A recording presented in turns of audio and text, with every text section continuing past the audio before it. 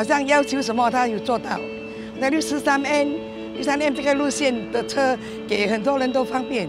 Uh, she work hard, she do her round, she meet people, she connect with people. She gives moral support towards our Indian community and she supports us in our religious and festival events. She comes down and she um, talks to everyone and mingles with everyone. So I think that's very sweet and nice of her. We want to make sure that everyone feels that they have a stake in our community and that it is a home which they can look forward to.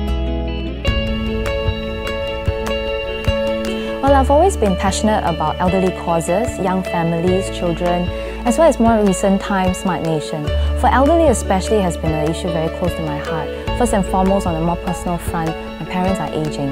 And so I can observe firsthand what are some of the issues that may concern them and therefore will help bridge this gap.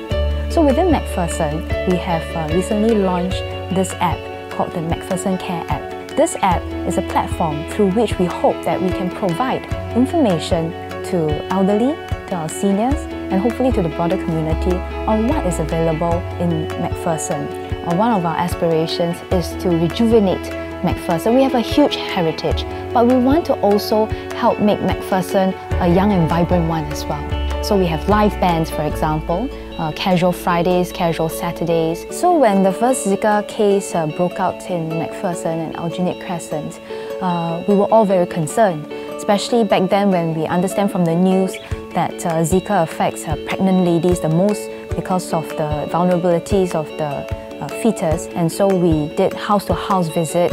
Uh, we asked the families whether there are pregnant ladies, could we you know, uh, get in touch with them so that we can uh, disseminate information on a very timely basis. And of course, in terms of the mosquito repellent and other resource that we could offer, we want to also be able to provide to them on the first instance.